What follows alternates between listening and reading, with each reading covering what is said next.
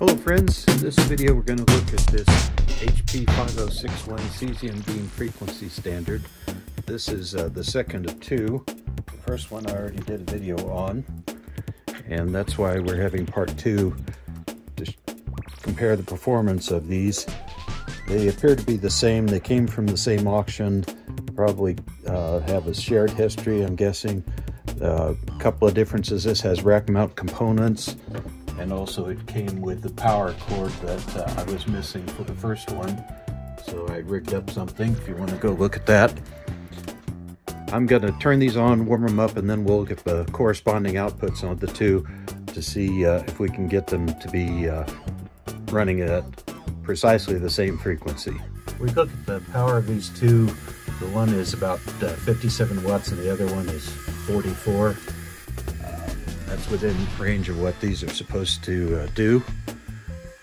I haven't looked inside this one yet. We'll do that quickly later on in the video. Uh, one kind of superficial difference is this has a kind of operating instruction tag on it.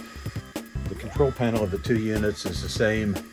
Uh, basically, there's some really simple controls and a meter that you can select what you're reading with this multi-selector switch. This is adjustment for the uh, crystal oscillator frequency. And uh, here we've got this uh, one pulse per second uh, real-time clock. Those aren't running at the moment, but they always seem to come on at the same value. I've got both of these units turned on. Uh, top one is the one that's making this kind of rattling noise. Got them both hooked up to the oscilloscope. Neither is producing a signal. These things need to be started. They're designed to run continuously after you start them. So here we see the seconds ticking away and we see the yellow waveform has turned into a sine wave. Down here it says 100 kilohertz approximately. So we'll start the second one,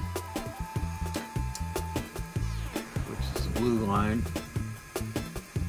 You'll notice those are drifting very slowly. It's kind of hard to see.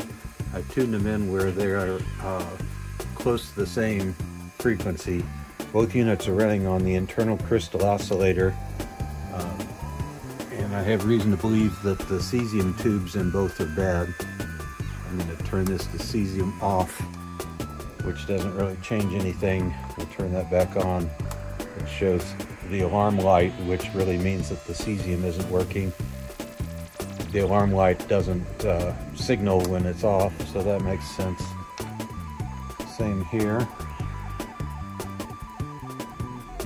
This one, this alarm light doesn't signal either way. This is a an adjustment for the uh, crystal oscillator. I'm going to move that a little bit. It's kind of a 10 turn pot type affair.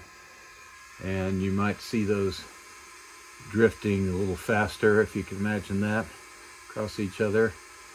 I'm going to turn it back the other way and we'll see that the drifting kind of stops at some point or even if I go too far drifts the other way.